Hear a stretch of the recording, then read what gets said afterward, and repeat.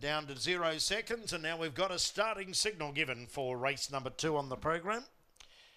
Zulu Vision, our favourite, and Zulu Vision remains at 145, getting out a little bit now. Master Tide at $8, Zulu Strike $9, Hara's Surf at $10, the uh, fourth elect.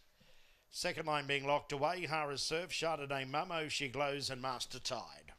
All in, green light. Race two at Ipswich. They're set.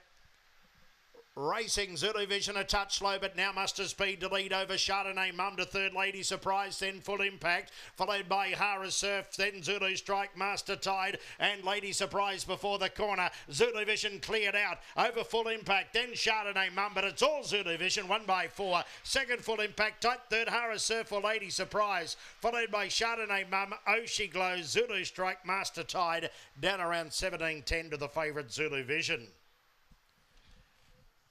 One Zulu Vision, the winner. 180 the win. Pleasant surprise, the place.